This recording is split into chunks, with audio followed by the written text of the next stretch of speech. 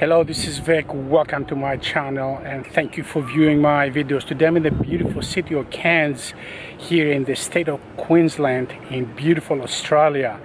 Now yesterday I did something very very special. I actually visited the Great Barrier Reef 25 years after planning to be here and to get there.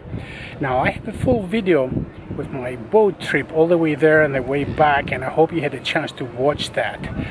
This particular video deals with my videotaping under the water over at the Hastings and Saxons reefs. These are, these are the two reefs that I visited about 60 kilometers away from the coast of Cairns or about 35 to 40 miles away. So enjoy what's coming up. This is my very first attempt at videotaping under the water. I hope you're going to enjoy the views.